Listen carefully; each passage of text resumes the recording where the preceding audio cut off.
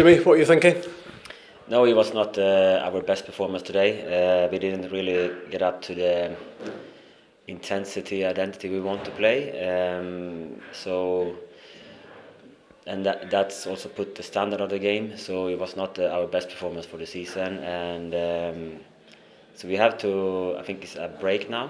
So we have to recover and come back um, with energy again and and more strength inside the games we play.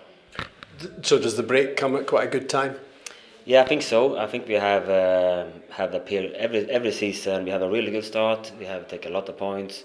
Now we have been in a momentum like we had need a victory, but it's not panic. It's still we have to just keep going and try to find a way to get this rhythm again, and uh, that's what we have to focus focus on. Was there a lack of spark, a lack of sparkle about the team today? No, it's, it's football. We have a really intense game on uh, in the midweek against Celtic, and we didn't really get back to this level of uh, energy today, and that's also put the the way um, the that's the way. It's not the way we want to play, and we didn't find the rhythm today. Were you hopeful when Leighton equalised that maybe?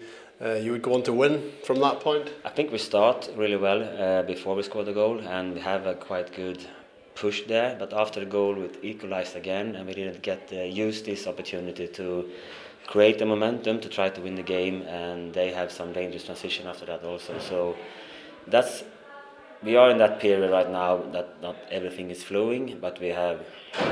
Of course, we want more points, but it's not like it's. it's totally bad, but it's, we need to be a little bit better to get the, the stability in our performance and get uh, at home this uh, this energy. There wasn't maybe too much good news today, but but Jack Milne was, was a good performance both at right back and at left back. Yeah, it's not easy for him. He has play uh, get in some games as a left and right back actually, and today again he has to play on both sides and I think he's growing every week. He's training, and also now he can also show everybody else how his performance. Uh, and actually, I think like his best position is a centre back. But there's good competition now, so he's did a lot of good things as a fullback also. Have you been thinking at all about the, the January the transfer window? Has there been you, is there thought about what what happens then?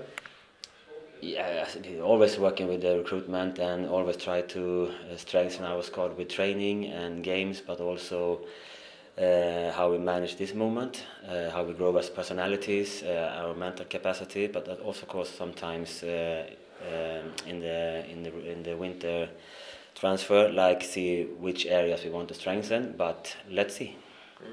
And coming back after this little break, uh, looking to to bounce back to to the sort of form you were in before.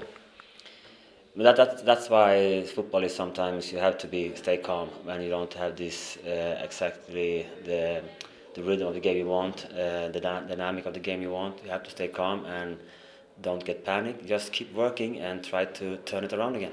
Keep on making progress. Exactly. Thank you, Jimmy. Thank you so much. Thank you. Thanks. Thank you.